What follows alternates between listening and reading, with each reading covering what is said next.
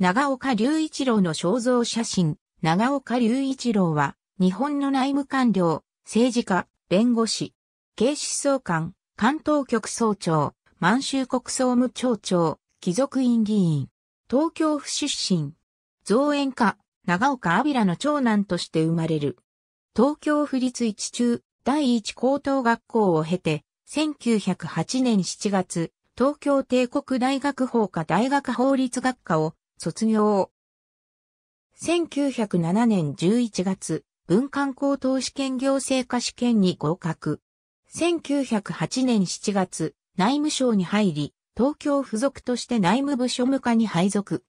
1908年8月、内務属となり警報局県大臣官房台湾課に配属。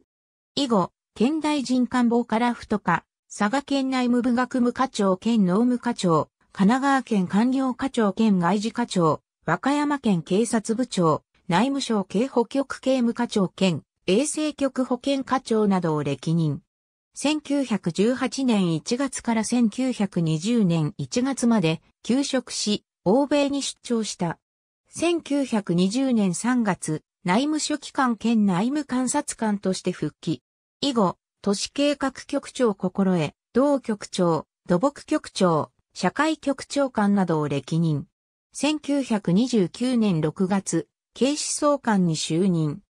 田中義和内閣の画会で、わずか8日間の在任で退任。同年7月1日、貴族院直選議員に任じられ、交友クラブに属し1946年3月まで在任。1934年12月、関東局総長に就任。1935年5月、満州国に展示総務長長となり1936年4月に辞職した。1940年5月に弁護士登録を行う。戦後、1946年3月18日、貴族院直選議員を辞任し、同年9月から1951年8月まで公職追放となった。ありがとうございます。